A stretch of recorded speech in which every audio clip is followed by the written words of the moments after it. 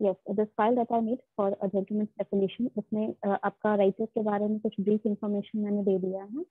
ठीक है so that if it comes you can just read it once and you can just answer it ठीक है?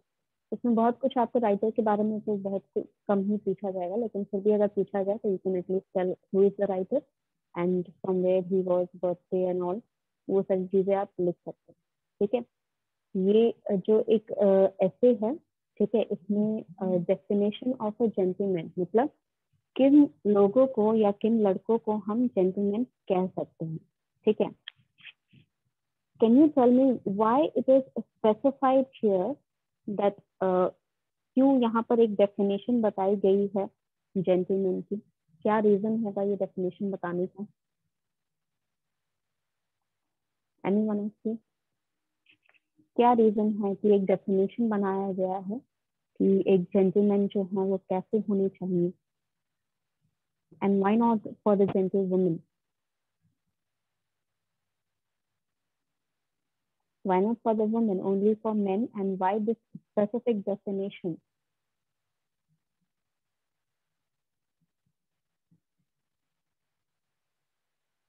Okay if you deeply look at it ये सारी जो चीज़ें यहाँ पर बताई गई हैं, ठीक है? It is a brief description of how you should behave with other ठीक है? ये भले आजकल की लाइफ में उतना नहीं फॉलो अप होता है but still it is followed somewhere around ठीक है? आज भी अगर इस तरह का बिहेवियर यहाँ पर जो भी चीज़ें मेंशन हो, इस तरह का बिहेवियर आप अगर किसी के साथ करेंगे तो वो ऑब्वियसली बात है कि वो आपको अच्छा मानेंगे। That means in somewhere in the back of their mind कहीं ना कहीं उनके माइंड में ये चीज़ बैठी हुई है कि अगर इस तरह का आप चीज़ें फॉलो करते हैं तो आप वहाँ पर एक जेंटलमैन है आप एक पर्सन है जिसको रिस्पेक्ट किया जाता है जिसको रिस्पेक्ट दिया जा सकता है विदाउट एनी क्वेश्चन अंडरस्टूड आप एक अच्छे इंसान हैं ठीक है? वेदर uh, मतलब हो सकता है कि आप जो हैं uh, किसी प्रॉब्लम uh, से गुजर रहे हैं हो सकता है कि आपका दिन अच्छा नहीं जा रहा है एंड आप किसी के साथ अगर बिहेव नहीं करते हैं इस पर्टिकुलर डेफिनेशन के हिसाब से तो वो पर्सन आपके उनके माइंड में आपके लिए एक कहीं ना कहीं एक ये थॉट भर जाता है कि ये पर्सन जो है वो एक जेंटलमैन नहीं है, वो अच्छा इंसान नहीं है। And why the specific like specification for men only because obviously यहाँ पर इन्होंने जब ये लिखा था ठीक है आइडलाइज किया गया था उन्हें। Then at that nineteen centuries में वो men he it was a man dominant society ठीक है? तो वहाँ पर मेन क्या करते हैं ये ज़्यादा मैटर करता है। वुमेन क्या करती हैं ये उन, उनके लिए कोई स्पेसिफिक यू कैन से कि स्पेसिफिक कोई ऐसे नहीं लिखा गया कोई जनरल नहीं लिखा गया। उन्हें बस अपने फैमिली से अपने मदर्स से अपने जितने भी फीमेल रिप्रेजेंटेटिव थे उनके फैमिली में, उनसे यहाँ पर मिला करता था ये जो you can say definition of central women ये डेफिनेशन उनको बचपन से सिखाया जाता था and through their you can say कि through their females in the family through the females in the family वो उन्हें सिखाते थे कि आपको किस तरह एक जेंटल वुमेन की तरह बिहेव करना है, एक लेडी की तरह बिहेव करना है क्या क्या चीज़ें एक लेडी नहीं करती है सोसाइटी में क्या क्या चीज़ें एक लेडी को फॉलो करना चाहिए रूल ये सारी चीज़ों के लिए कभी कोई ऐसे बहुत ज़्यादा नहीं लिखा गया था, ठीक है? उनके लिए ये सारी इंफॉर्मेशन उनको मदर्स के थ्रू उनके आंट्स के थ्रू पहुंचाई जाती थी। बट मेन के लिए ये सारी चीज़ें बहुत ज़्यादा लिखी जाती थी। Even in the stories if you look at the writers जो स्टोरीज लिखते थे पहले के जमाने में वहाँ पर भी स्पेसिफिकेशन जब किया जाता था तो when they are describing the man in that story जब वो डिस्क्राइब कर रहे हैं एक मैन को स्टोरी में तो वो इस तरह डिस्क्राइब करते थे कि वो किस तरह बिहेव um, करता है ठीक है वो सबके साथ किस तरह बिहेव करता है। He is not interested in gossiping ठीक है he is not interested in any fashion stylish things ठीक है he is not interested in you can say like he is interested in the things of helping others ठीक है and providing for his families इस तरह का उनका description दिया जाता था if they are describing a man in the story and if they are describing a women in the story they will be like Are, uh, she is very quiet she don't talk to people much and then she is uh, she doesn't talk to people much and then uh, when she is talked to unless वो उससे कोई सवाल पूछा जाए, वो बात नहीं करती हैं, किसी से अनजान व्यक्ति से बात नहीं करती हैं।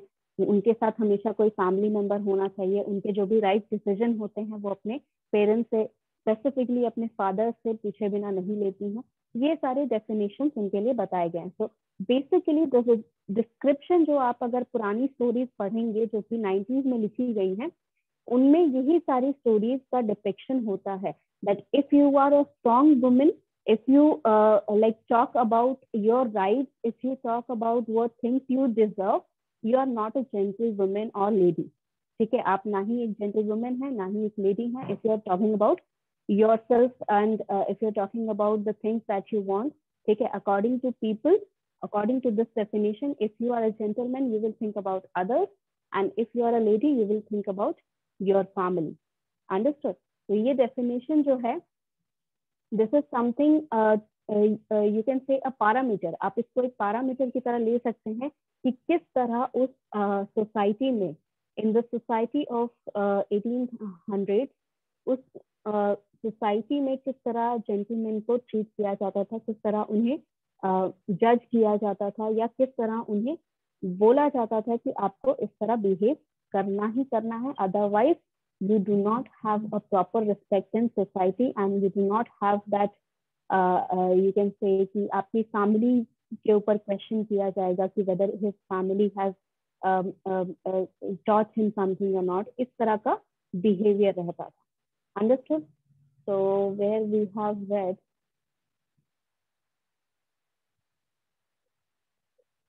okay brief description तो हमने वहाँ पर uh, वो मैं आपको समरी बता रही थी तो यहाँ पर आपका ये पूरा एक डिस्क्रिप्शन जो है इन डिटेल डिटेल्ड डिस्क्रिप्शन यहाँ पर बताया गया है। So let's read here anyone who would like to read ये पूरा एक ऐसे है जो डिस्क्राइब कर रहा है कि क्या क्या चीज़ें डिफाइन करती हैं एक जेंटलमैन को। Anyone who would like to read ma'am मेरी आवाज़ आ रही है? Yes you're audible Ruchi. You can start from here. A definition of a gentleman. It is almost a definition of a gentleman to say he is he is one who never inflicts pain this description is both refined and as far as it goes accurate he is mainly occupied in merely removing the ob obstacles which hinder the free and unbraced action of those about him, and he occurs when they, with their movements rather than takes the initiative himself. These benefits may be considered as parallel to what are called comforts or convenience in arrangements of a personal nature, like an easy chair or a good fire, which do their part in dispelling cold and fatigue. Though nature provides both means of rest and animal health, heat without them. The true gentleman in like manner carefully avoids whatever may cause or jar or a joint in the minds of those with whom is he is cast all placing of opinion or conclusion of feeling or restraint or suspicion or gloom or resentment, he is great concern being to make everyone at their ease at and at home.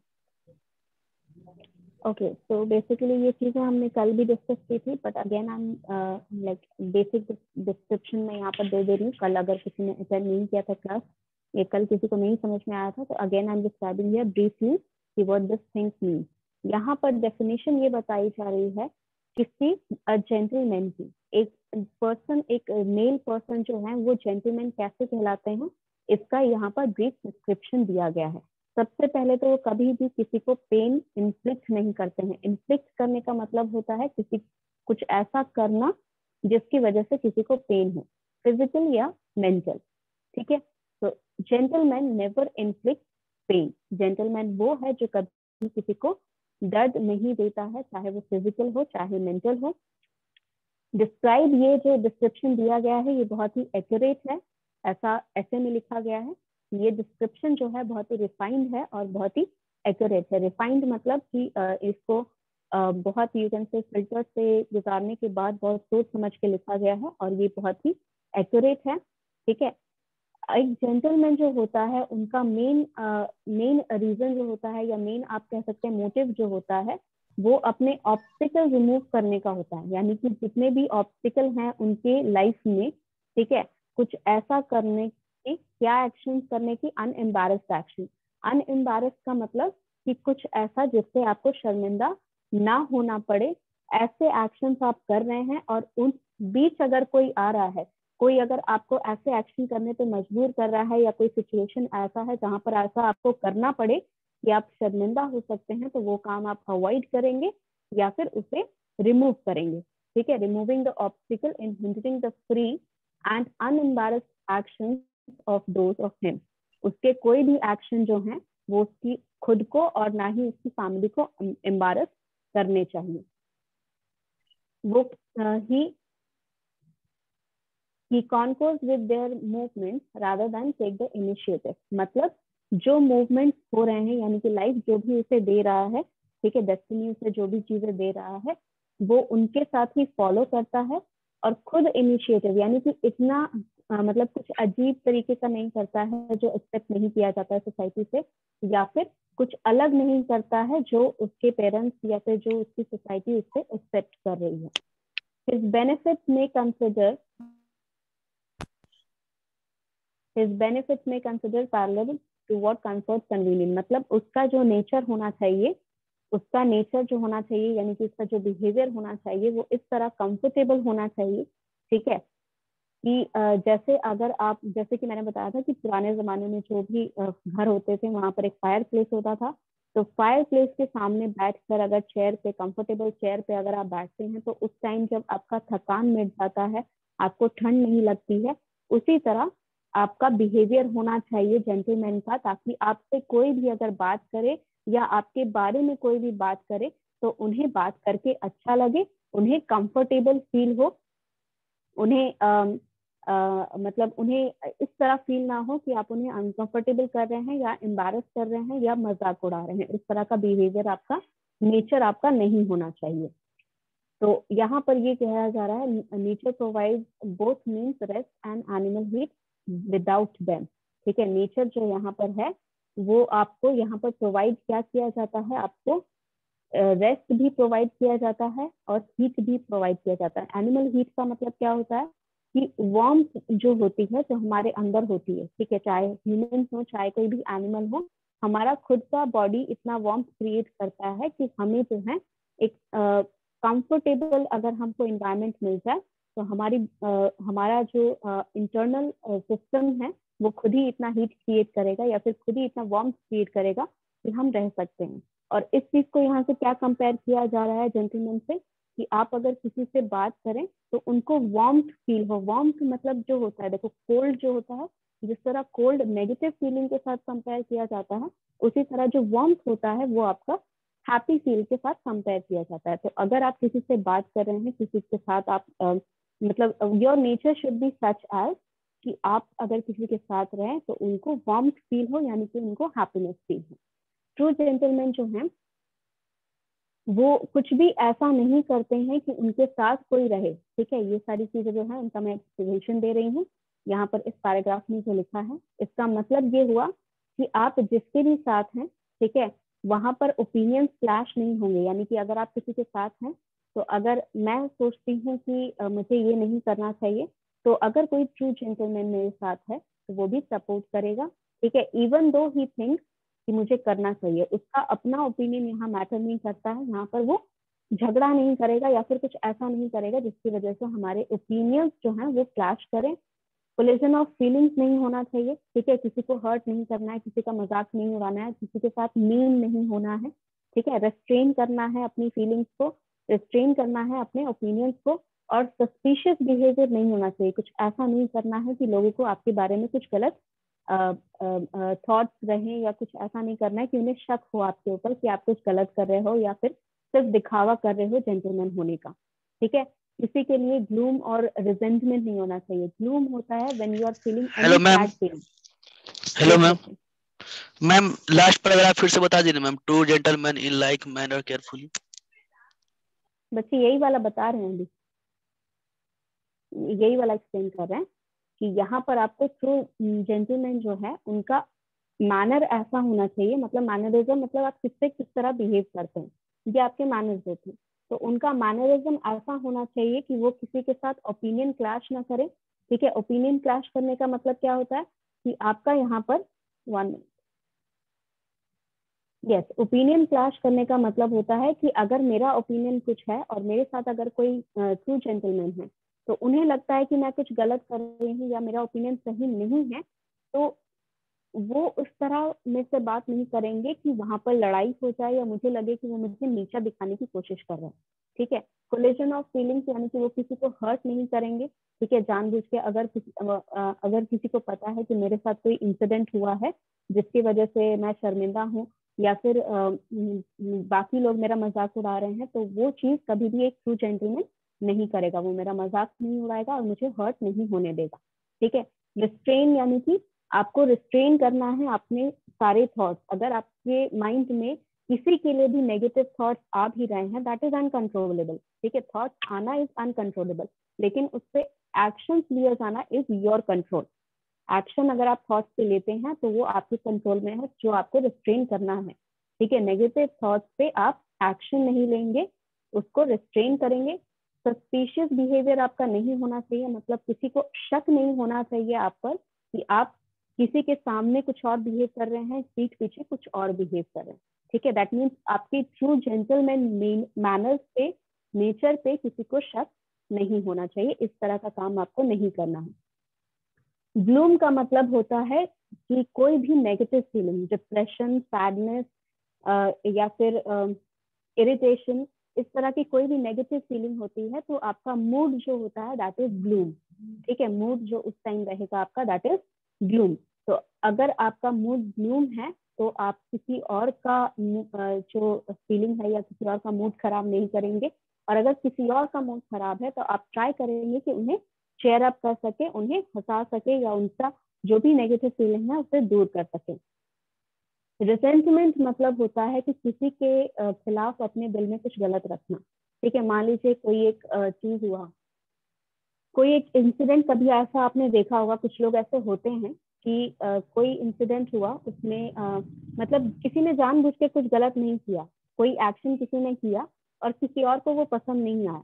और instead of clearing up the air clearing up the air मतलब उनसे जाके बात करें कि हाँ आपने जो किया मुझे पसंद नहीं आया, ऐसा आपको नहीं करना चाहिए था। ये करने की बजाय उन्होंने बस दिल ही दिल उस पर्सन को गलत मान लिया, ठीक है, खराब मान लिया, उसका नेचर खराब मान लिया और उनके साथ बात करना बंद कर दिया, उनके अगेंस्ट किसी को कुछ बोल रहे हैं, ये सारी चीज़ें रिजेंटमेंट होती है, ठीक है? मतलब किसी के खिलाफ आपने बस अपने हार्ट में गलत फीलिंग बैठा ली है और आप उसको कुछ कर नहीं रहे हैं। ठीक है तो रिजेंटमेंट आपको क्रिएट नहीं करनी है अपने लिए, ना ही किसी और के लिए रिजेंटमेंट अपने दिल में रखनी है। अगर कोई गलत बिहेव कर रहा है तो उसे दूर रहना है उससे हट जाइए और उससे जितना हो सके उससे इंटरेक्शन कम कर दीजिए। ठीक है? His great concern being to make everyone at ease at home. At ease और at home का मतलब कि उनका सबसे बड़ा कंसर्न कंसर्न मतलब कि जिस चीज़ से वो परेशान हो या जिस चीज़ के बारे में वो ज़्यादा सोचें तो उनका ग्रेटेस्ट कंसर्न यही होना चाहिए कि जो भी उनके साथ है वो कंफर्टेबल फील करे। उन्हें ऐसा ना लगे कि वो किसी बाहरी आदमी से बात कर रहे हैं या वो जो भी बात कर रहे हैं उस चीज़ को लेकर गलत बिहेवियर क्रिएट हो सकता है उनका मज़ाक उड़ाया जा सकता है या कुछ भी ऐसा फीलिंग उनको ना क्रिएट हो।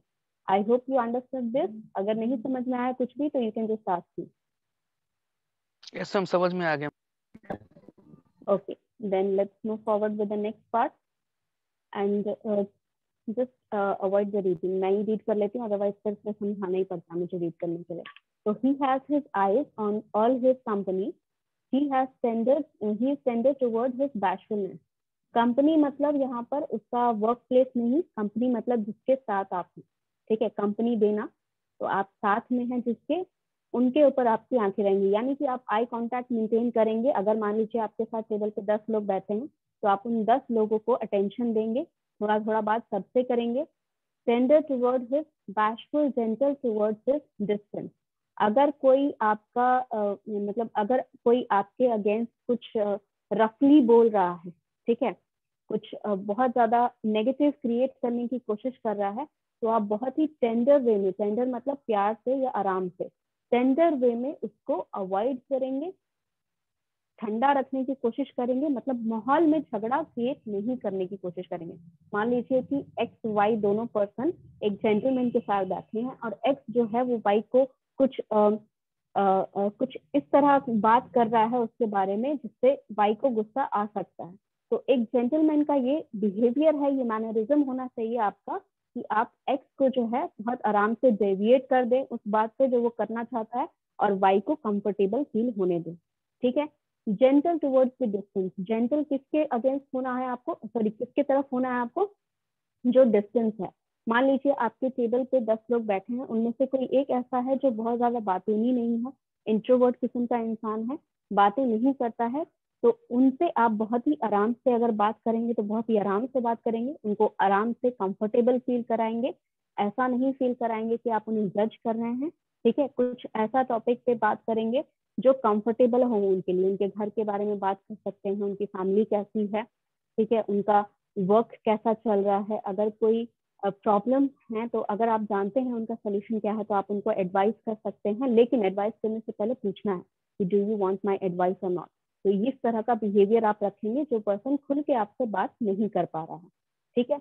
मर्सीफुल टूवर्ड अबसर्ड अबसर्ड मतलब बेचीदा चीज़ें।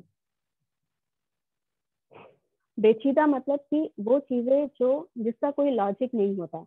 तो कुछ लोग ऐसे होते हैं जो कुछ ऐसा काम करते हैं जिसमें कोई लॉजिक ना हो।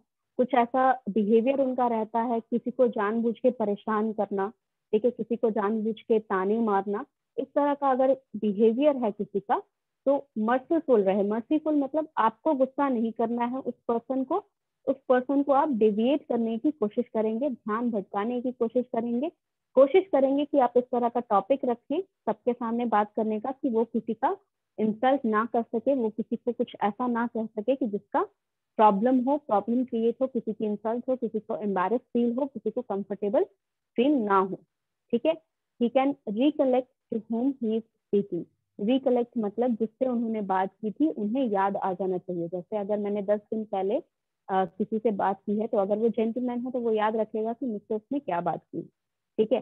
स्पेसिफिक नहीं कम से कम वो मुझे याद रखेगा कि इस पर्सन से मैंने बात की थी। ठीक है? He guard again unseasonal allusion guard करना है आपको गार्ड मतलब रुकावट करना है खुद से उसको दूर रखना है। किस चीज़ को? अनसीजनेबल अल्यूशन अल्यूशन होते हैं जो चीज़ें रियलिस्टिक नहीं होती हैं।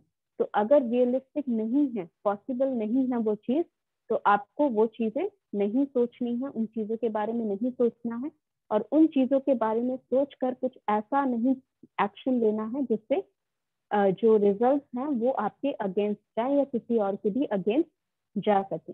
यानी कि आपको प्रैक्टिकल रहना है। एक तरह से ये कहा जा रहा है कि आपको प्रैक्टिकल रहना है, जो भी फैक्ट्स आपके सामने हैं, उन्हीं के हिसाब से आप एक्शन करेंगे।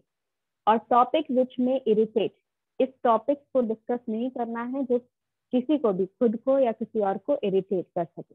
ठीक है? सेफ़ टॉपिक पर डिस्कशन करना है। वेदर्स हो गए, ठीक है? जैसे ये चीज़ आपने कहीं पढ़ी भी होगी, अगर आपको रीडिंग का शौक है तो जहाँ से भी अगर आप कोई नॉवेल्स पढ़ते हैं या फिर कोई भी स्टोरीज पढ़ते हैं तो वहाँ पे सबसे सेफ़ टॉपिक कॉन्वर्सेशन का आपका रहता है दैट इज़ योर वेदर और you can say anything that is going on around the society कुछ ऐसा जो सोसाइटी के डेवलपमेंट के लिए चल रहा है। ठीक है फॉर एग्ज़ाम्पल कोई नया प्रोजेक्ट खुला है जो सोसाइटी के डेवलपमेंट के लिए है उस पर डिस्कशन कर लीजिए।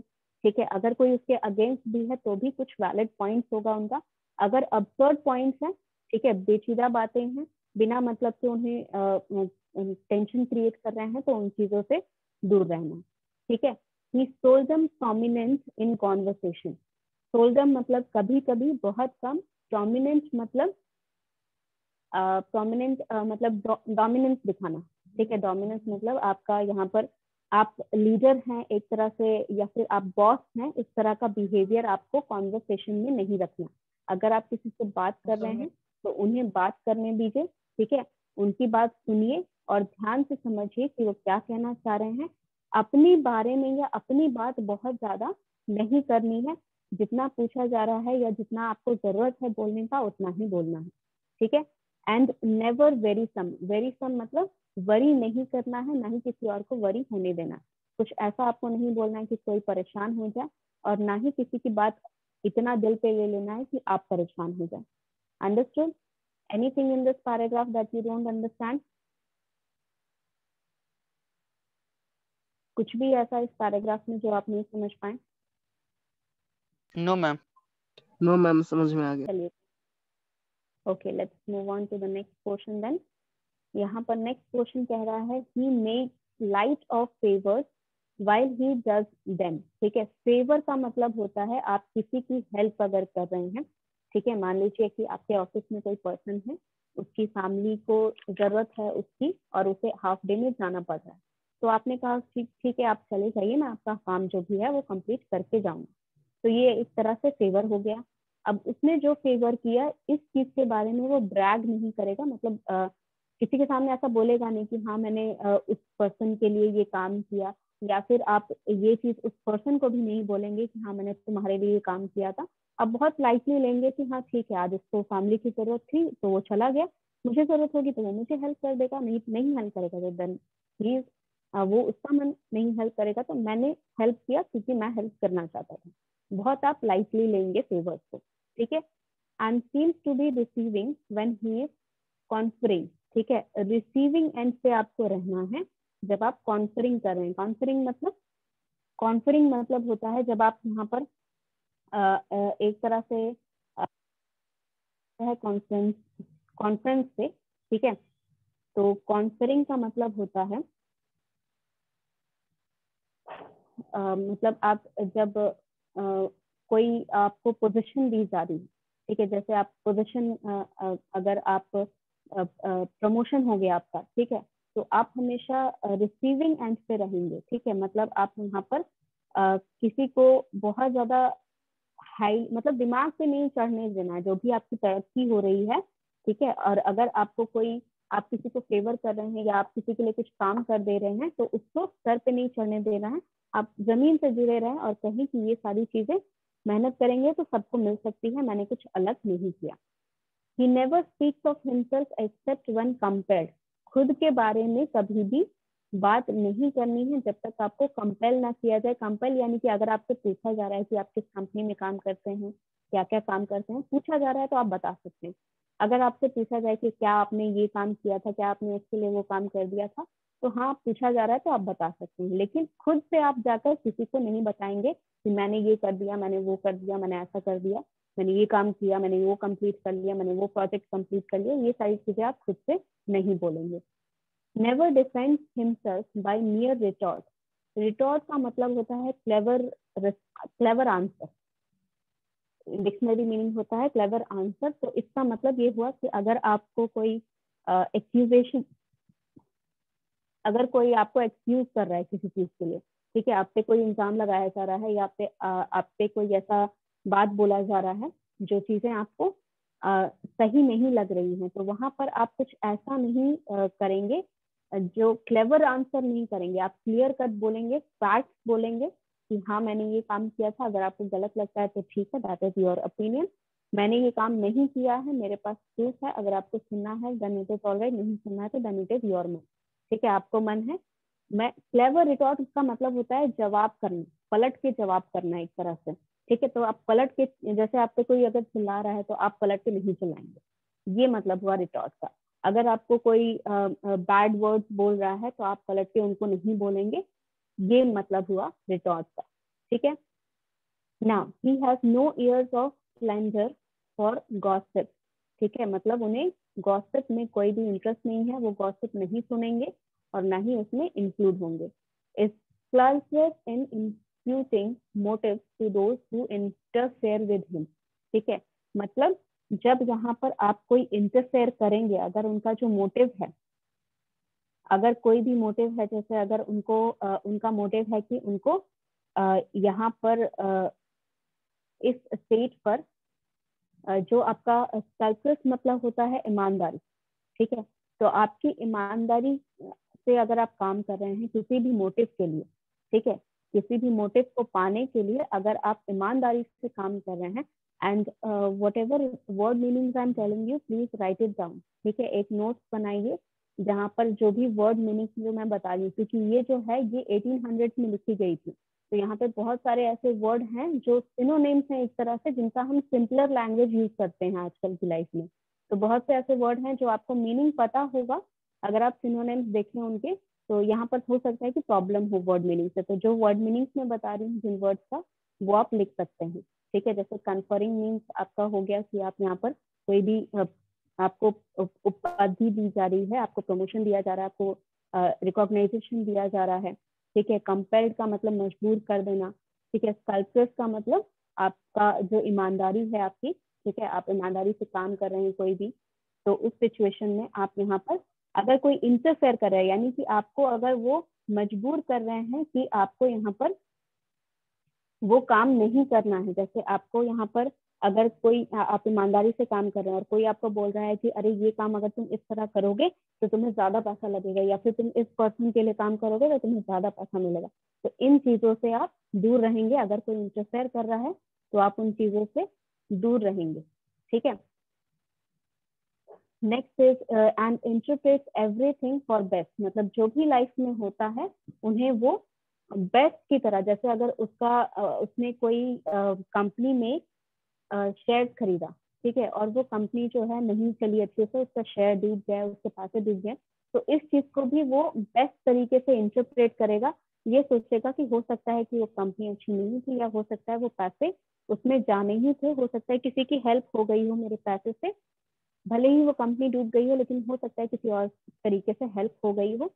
मैं उस चीज़ के बारे में नहीं सोचूँगा कि मैंने कुछ गलत किया या मैं इसको करने से नहीं रुकूँगा वैसा ठीक है अगर मुझे लगता है कि वो सही है तो मैं वो काम फिर से करूँगा। Did you understand everything in this paragraph yes ma'am चलिए then move on to the next paragraph next paragraph की तरफ़ बढ़ते हैं हम लोग। He is never mean or little in his dispute ठीक है? मीन एंड लिटिल मतलब क्या हुआ कि आप अगर झगड़ा कर भी रहे हैं किसी से अगर आपका झगड़ा हो गया तो आप मीन नहीं रहेंगे। मीन का मतलब होता है कि किसी को नीचा दिखाना या फिर आ, किसी को आ, मतलब कुछ ऐसा बोल देना जो बहुत ही हर्टफुल है। अगर मुझे पता है कि कोई इंसान जो है बहुत मेहनत करके आगे बढ़ा है उसकी फैमिली बहुत कह सकते हैं, अच्छी फाइनेंशियली अच्छी नहीं थी और बहुत मेहनत करके वो आगे बढ़ा है और अगर मेरा इससे झगड़ा हो जाता है तो वो पर्सन कोई अगर किसी पर्सन से उसका झगड़ा हो जाता है तो वो अगर जेंटलमैन है जिससे झगड़ा हुआ है तो वो कभी ये बात बीच में नहीं लाएगा कि अरे तुम तो गरीब फैमिली से बिलोंग करते थे, पता नहीं कहाँ से आ गए। इस तरह का रिटॉर्ट आपको नहीं देना है उसको, ठीक है? अगर डिस्प्यूट हो रहा है डिस्प्यूट मतलब झगड़ा तो उसके साथ आप मीन नहीं होंगे ठीक है, आप अगर झगड़ा हो गया तो आप बातचीत करके उसको सॉल्व करने की कोशिश करेंगे। नहीं हो रहा है सॉल्व तो आप दूर रहेंगे उस पर्सन ठीक है? लेकिन आप वहाँ ज़बरदस्ती झगड़ा क्रिएट नहीं करेंगे, ज़बरदस्ती इंसल्ट नहीं करेंगे उसकी और ना ही उसको कुछ ऐसा बोलेंगे जो उसको हर्ट हो मेंटली उसको हर्ट कर सके, ठीक है? Never take unfair advantage unfair advantage का मतलब अगर कोई मजबूर है तो उसका आप फ़ायदा नहीं उठाएँगे।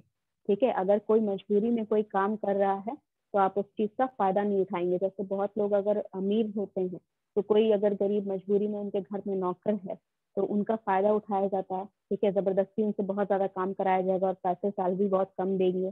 ठीक है जो अगर बोला गया था कि खाना और रहने की जगह मिलेगा तो रहने की जगह में एकदम उसको शोरूम जैसा कोई जगह में रहने के लिए भेज दिया जाएगा। खाने में जो बच्चा कुचा है, टेबल पे वही खाना है, गंदा सा खाना उसे दे दिया जाएगा तो इस तरह आपको एडवांटेज नहीं लेना है किसी की मजबूरी का। इंसान की तरह सबको ट्रीट करना है, अच्छी तरह। उनके साथ आपका बिहेवियर बताएगा कि आप जेंटलमैन हैं, अच्छे इंसान हैं या नहीं। Never mistake personality or sharp saying for argument मतलब अगर किसी की पर्सनालिटी ऐसी है, जो मुँह पे आपको बोल देता है, अगर कोई गलती करते हैं, या फिर अगर किसी और ने आ, कोई गलती की है तो उसको एकदम जाके मुँह पे बोल देंगे कि अरे तुमने ये गलत किया तुम्हें ऐसा नहीं करना चाहिए था।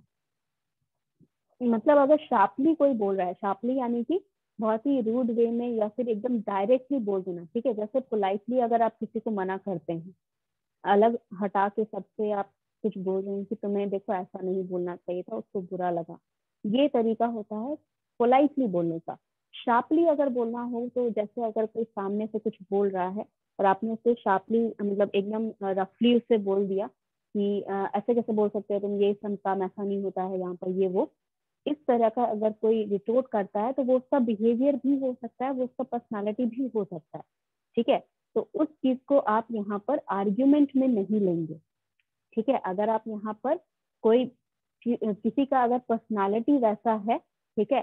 कि वो इस तरह का बिहेवियर करता ही है, या फिर अगर कोई शार्प सेइंग कर रहा है, यानी कि आपसे जबान लड़ा रहा है, या फिर आपसे उसकी आदत है कि वो इस तरह डायरेक्टली बोलता है बिना किसी चीज़ को ध्यान में लिए तो ये उसकी पर्सनालिटी है या फिर ये उसका तरीका है बात करने का तो आप इसे आर्ग्यूमेंट में नहीं लेंगे। मतलब एक तरह से कहा जा रहा है यहाँ पर कि अपना ईगो आप हटा के रखें, ठीक है?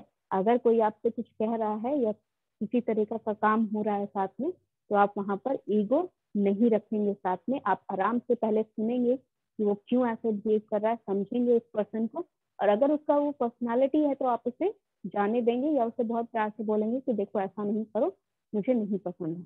ठीक है? और insinuates evil, which is dare not, which he dare not say out loud मतलब अगर उसके दिमाग में कुछ इवल चल रहा है किसी के लिए। ठीक है, जैसे मान लीजिए कि कोई बहुत बुरा इंसान है, कोई बहुत बुरा पर्सन है और वो बहुत बुरा कर रहा है। हो सकता है एक जेंटलमैन के लिए नहीं, किसी और के लिए। जैसे अभी मैंने बताया कि कोई पर्सन है जो अपनी सर्वेंट्स का गलत फ़ायदा उठा रहा है, उनको अच्छी तरह ट्रीट नहीं कर रहा है तो हो सकता है कि आपको गुस्सा है ठीक है, हो सकता है कि आपको बुरा लगे।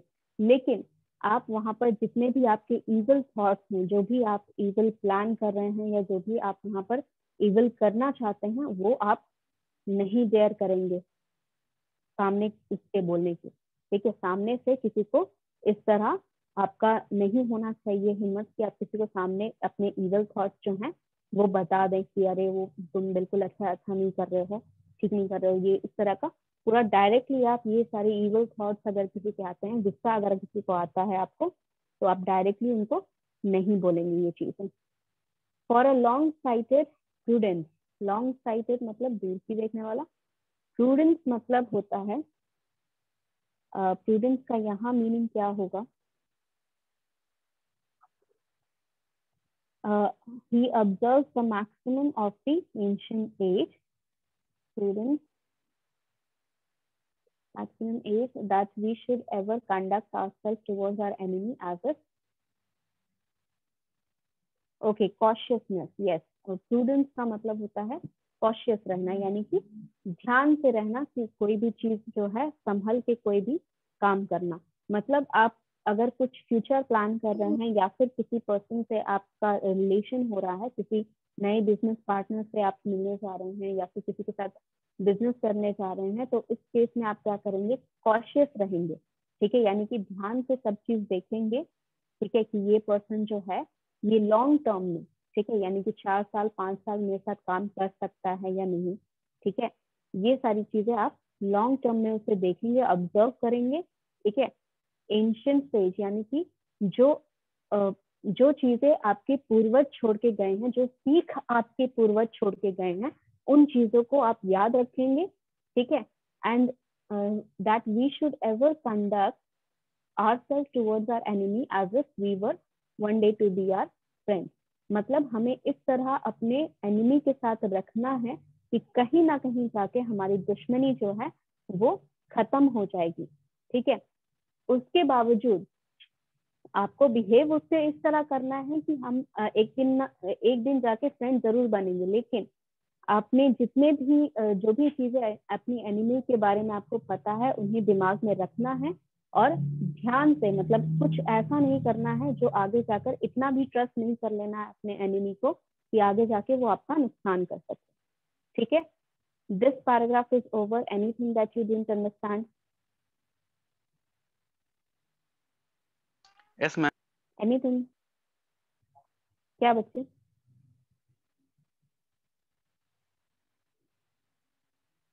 Okay if any doubt just ask me okay uh, otherwise i'm explaining this next paragraph he has too much good sense to be afforded in at insult he is too well employed to remember injuries and and too indolent to bear malice यहाँ पर क्या कहा जा रहा है कि उसके पास इतना अच्छा सेंस है कि वो इंसल्ट नहीं अफ्रंट कर सकता है मतलब वो उसको अगर कोई इंसल्ट करेगा तो मतलब इस तरह वो बिहेव नहीं करता है कि उसको कोई इंसल्ट कर सके या फिर वो किसी का इंसल्ट करे, इससे ज़्यादा उसके पास सेंस है, ठीक है? Too much too well employed to remember injuries मतलब अगर किसी ने फिजिकली या मेंटली आपको इंजर किया है, आपको दुख पहुँचाया आपको दर्द पहुँचाया तो आप उसे याद नहीं रखेंगे, ठीक है? आप वो सीख याद रखेंगे कि उसने मेरे साथ ऐसा किया था तो हम वो चीज़ दोबारा रिपीट नहीं करेंगे। लेकिन आप उस पर्सन के अगेंस्ट कुछ भी अपने दिमाग में नहीं लिखेंगे। ठीक है? Indolence to bear malice malice का मतलब मैंने बताया था कल आपको। मिलाइस का यहाँ पर मीनिंग होता है जो भी आपका malice M O sir M I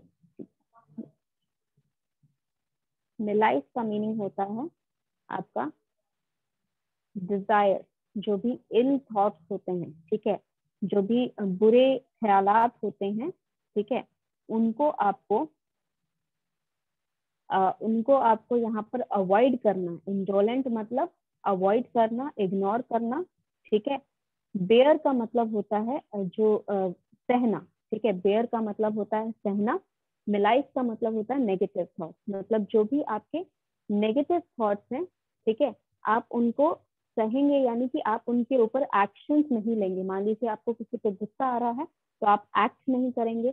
अगर आप किसी को पसंद नहीं करते हैं तो ये चीज़ आप उसके मुँह पे दर्शाएँगे नहीं। आप सामने में उसको ये चीज़ दर्शाएँगे नहीं। आप इतना ज़्यादा आपको आ, मतलब समझ है कि आप ये सारी चीज़ें सामने में किसी के नहीं करेंगे। ठीक है? ही इज़ पेशेंट ठीक है? वो धैर्य रखता है। फॉर बेरिंग फॉर बेरिंग मतलब आगे की सोचना। ठीक है? एंड रिजाइंड रिजाइंड मतलब हर चीज़ को कंट्रोल नहीं करना चाहता है वो। रिजाइन का मतलब होता है कंट्रोल छोड़ देना। तो यहाँ पर कहने का मतलब ये है कि हर चीज़ को वो कंट्रोल नहीं करना चाहता है। ठीक है? ऐसा नहीं है कि बारिश हो गई तो आपका मूड खराब हो गया कि क्यों यार बारिश हो गई। Obviously you can control those things तो आप उस चीज़ को रिजाइन कर देंगे कि भगवान की मर्ज़ी है, जब बारिश होगी, ठीक है? फिलोसफिकल प्रिंसिपल्स यानी कि उनके लाइफ में फॉलो करने के लिए कुछ प्रिंसिपल्स होंगे, कुछ रूल्स होंगे तो वो हमेशा फॉलो करेंगे। He submit to pain because it is inevitable वो जो पेन है, जो दर्द है, उनको वो सबमिट कर देगा, यानी कि उससे लड़ेगा नहीं, क्योंकि वो इनएविटेबल है। इनएविटेबल मतलब जो होना ही होना है, जिसको आप होने से रोक नहीं सकते। ठीक है? तो इनएविटेबल है पेन उसका मतलब ऐसा, जो भी दर्द उसके लाइफ में आएगा, जो भी आप तकलीफें झेलेंगे, वो कहीं ना कहीं इनएविटेबल है। ठीक है, ऐसा नहीं हो सकता है कि आप अपनी लाइफ में कुछ ऐसा पालें ठीक है, जो आपको बिना किसी तकलीफ़ के मिल जाए। ठीक है, क्योंकि अगर ऐसा होगा तो फिर आपको यहाँ पर इस चीज़ की कोई भी कदर नहीं रहेगी। तो आपको यहाँ पर पेन सहना ही पड़ेगा, कहीं ना कहीं। रिजेक्शन का पेन हो सकता है हो सकता है उसके आइडियाज़ रिजेक्ट कर दिए गए हो बिज़नेस उसका बहुत दिन से नहीं चल रहा हो ठीक है? या फिर उ, उसको डिस्क्रिमिनेट किया जा रहा हो बहुत सारी चीज़ें हो सकती हैं जिसकी वजह से आपको तकलीफ़ होगी तो उसको आप सबमिट कर दें। मतलब समझ ले कि ये आपकी लाइफ में होगा ही होगा। अगर लेकिन इनसे आपको आगे बढ़ना है इनको लड़ना नहीं है इन सब तकलीफों से आपको लड़ना नहीं है आपको यहाँ पर आपको यहाँ पर इन सब चीज़ों से आगे बढ़ना है ठीक है? नेक्स्ट टू बिवेयरमेंट बिवेयरमेंट मतलब होता है एक्शन ऑफ़ बीइंग बिवेयर्ड ठीक है? मतलब uh, यहाँ पर वन बिवेयरमेंट का मतलब होता है कि यहाँ पर बिवेयर रहना यानी कि अवेयर रहना कि कुछ भी अगर गलत हो रहा है ठीक है? कुछ भी अगर उसके अगेंस्ट जा रहा है ठीक है? डिप्राइव मतलब अग, अगर मान लीजिए कि आपका अगर कोई भी आ, कोई ऐसा सिचुएशन है कि आपका कोई फ्रेंड नहीं है कोई सच्चा साथी नहीं है जिससे आप बहुत ज़्यादा ट्रस्ट कर सके ठीक है? तो ऐसे आपको नहीं बनना है ठीक है? आपको फ्रेंडली रहना है आपके पास ऐसे दोस्त होने चाहिए जिन पे आप अच्छी तरह ट्रस्ट कर सके और जिन जिनको आप पे ऊपर पूरा ट्रस्ट हो बिकॉज़ इट इज़ इरिप्लेबल मतलब इस चीज़ को आप नहीं हटा सकते हो, ठीक है? आपको जो पेन है उसको बिफ्रेंड करना है। एक तरह से ये कह रहा है, जो दर्द है, जो तकलीफ़ है आपकी लाइफ में, जो परेशानियाँ हैं, उनको आपको सबमिट कर देना है, उनको एक दोस्त की तरह बना लेना है, क्योंकि ये इनसे आप बच नहीं सकते हैं, ठीक है? जिस तरह डेथ होती है, जो कि हर किसी की कहीं ना कहीं डेथ जाके आपको मिलेगी। दिस इज़ इनएविटेबल आपकी लाइफ में कुछ श्योर हो ना हो, एक दिन जाके आप डेथ एक दिन आपका डेथ होगा ही, ये चीज़ का श्योरिटी है। तो ये चीज़ आप बर्दाश्त ये चीज़ जो है, ये इस चीज़ से आप लड़ नहीं सकते हो। तो जो चीज़ इनएविटेबल है, जो लाइफ में आपकी परेशानियाँ हैं, उनको आप बिफ्रेंड कर लें, यानी कि उनको अपना दोस्त बना लें, और जो भी आपकी डेस्टिनी है भगवान जहाँ भी आपको ले जा रहे हैं जहाँ भी आपको जो भी अच्छा मिल रहा है वो आप कंप्लीटली एक्सेप्ट करें उससे लड़ेंगे नहीं। Anything that you don't understand in this paragraph कुछ ऐसा जो यहाँ पर आप नहीं पढ़ समझ पाए? आ गया मैम समझ ओके okay, यहाँ पर मैं मार्क कर देती हूँ नेक्स्ट क्लास यहीं से स्टार्ट करेंगे। पहले मैं यहाँ पर अटेंडेंस ले लूँ। Till the time I am just explaining it here if we if he engages in controversies of any kind मतलब अगर किसी तरह का कंट्रोवर्सी कंट्रोवर्सी मतलब क्या होता है? कुछ ऐसा जो कि जिस पे बहुत ज़्यादा बहस की जा सकती है। ठीक है जिसके ऊपर आपके पास हाँ ऐसा चीज़ जिसके ऊपर आपके पास प्रूफ नहीं है कि वो सही है या गलत है, लेकिन आप वहाँ पर उसके ऊपर डिस्कशन ज़रूर करेंगे, ठीक है? तो ये आपका कंट्रोवर्सी हो गया। तो अगर उसे किसी तरह इंगेज कर लिया जाए इफ़ लिखा है, इसका मतलब कि अगर वो इंगेज हो, ज़रूरी नहीं है कि अगर वो इंगेज होना ही चाहिए, अगर वो इंगेज है तो वहाँ पर वो बहुत ही डिसिप्लिन तरीके से, यानी कि जो यहाँ पर एक आ, मतलब आ, ऐसा नहीं कि अगर आप इंगेज कर दिए गए हैं आप तो वहाँ पर आ, मतलब किसी को इंसल्ट करके लड़ेंगे या इस तरह का डिसिप्लिन तरीके से इंटेलेक्ट मतलब समझदारी से आप उस चीज़ को हैंडल करेंगे ठीक है? प्रिजर्व हिमसेल्फ मतलब अपने आप को बचा के रखेंगे अपने डिसिप्लिन से अपने इंटेलिजेंस से अपने आप को इस कंट्रोवर्सी से बचा के रखने की कोशिश करेंगे। डैमेज क्रिएट नहीं होने देंगे अपने इमेज पे अपने जो नेचर है, आपका जो मैनरिज्म है, आपका डिसिप्लिन है, वो खराब नहीं होना चाहिए। From the blundering discourtesy of better ठीक है? मतलब जो ब्लंडर्स क्रिएट हो रहे हैं मतलब मतलब बहुत बड़ी गलतियाँ। जो भी गलतियाँ हो रही हैं, आपके आसपास, चाहे आपसे हो रही हैं, चाहे किसी और से हो रही हैं, ठीक है? वो सारी चीज़ें आप जो है अवॉइड करने की कोशिश करेंगे, उसे बेहतर बनाने की कोशिश करेंगे। बेटर बनाने की उसे कोशिश करेंगे। पर but less educated minds who like blend weapons, fear and hack instead of cutting clean, who make them point in argument, waste their strength on trifle, misconceive they, their adversary and leave the question more involved than they find it. इसका मतलब कि जो educated नहीं है ठीक है जिनका जिनका एजुकेटेड uh, मतलब यहाँ पर सिर्फ़ पढ़ाई से रिलेटेड नहीं एजुकेटेड मतलब जो समझता नहीं है जिनको दुनियादारी की भी समझ नहीं है उनका जो दिमाग होता है ठीक है वो एक ब्लांट वेपन की तरह होता है यानी कि जिसको आ, मतलब आ, एक अगर नाइफ है वो अगर शार्प नहीं है ठीक है तो वो सिर्फ़ टीयर करेगा और हैक करेगा मतलब उसे कट जो है वो क्लीन नहीं करेगा ठीक है वो क्लीन कट नहीं करेगा उसमें वो सिर्फ़ वहाँ पर मतलब टिश्यू को या फिर उस चीज़ को जिसको काटा जा रहा है, वहाँ पर वो टीयर करेगा। टीयर मतलब फाट देना होता है तो यहाँ पर टीयर कर सकता है। जैसे अब अगर हम ब्लांट एक नाइफ लेते हैं, जो शार्प नाइफ नहीं है, अगर हम उसे लेते हैं और एक वेजिटेबल आप काटने की कोशिश करेंगे तो वो अच्छी तरह क्लीन कट नहीं करता है। ठीक है? तो वन क्लीन कट वो वहाँ पर नहीं करता है उस चीज़ से। तो उसी तरह होता है आपका उन लोगों का दिमाग जो कि एजुकेटेड नहीं होते हैं।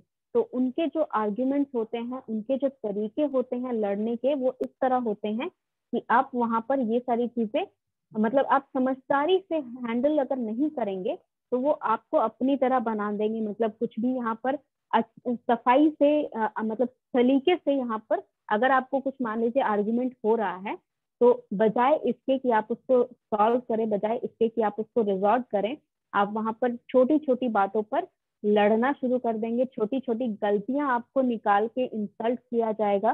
ठीक है? जो भी लोग हैं वहाँ पर जिसके अगेंस्ट आप लड़ रहे हैं इंसल्ट करेंगे। ठीक है? और ये जो है आंसर देने की बजाय, ठीक है? मतलब यहाँ पर आपको जो भी परेशानी हो रही है, उसके बारे में जानने की बजाय आपको और परेशान करके चले जाएँगे।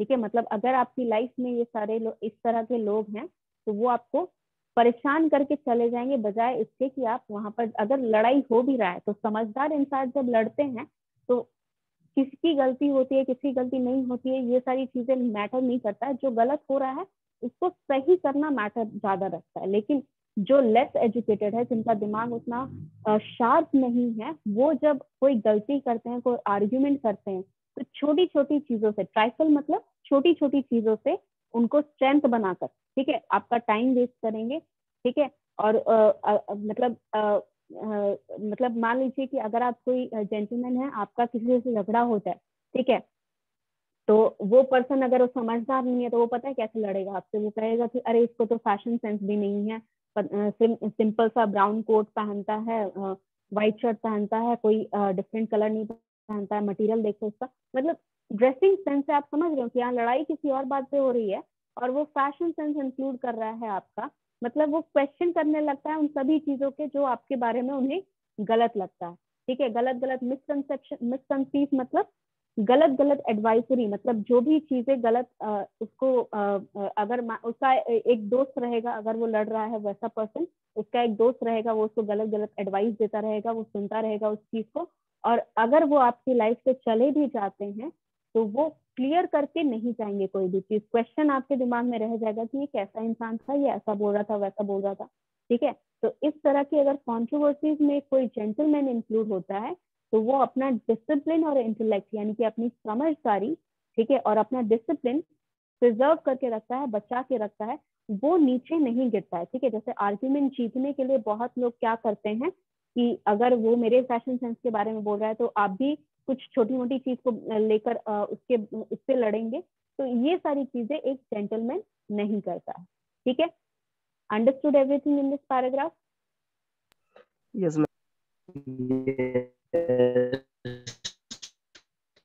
okay uh, so uh, let me okay let me just mark it here. इसको यहाँ पर ब्लैक कर देते हैं यहाँ से मार्क कर देते हैं। ताकि नेक्स्ट क्लास में पता चल जाए कहाँ से हमने रिवाइज करना है। कंटिन्यू करना है, ठीक है? एंड नेक्स्ट क्लास इसको कंटिन्यू करेंगे और अच्छे से समझेंगे और जो भी नोट्स मैं बताते जा रही हूँ, उनको पढ़ते रहिएगा और ये वाला जो फ़ाइल है, ये मैं आपको सेंड कर दूँगी। तो रिवाइज कर लीजिएगा, ठीक है? And will meet in the next class and attendance मैंने ले लिया ओके okay?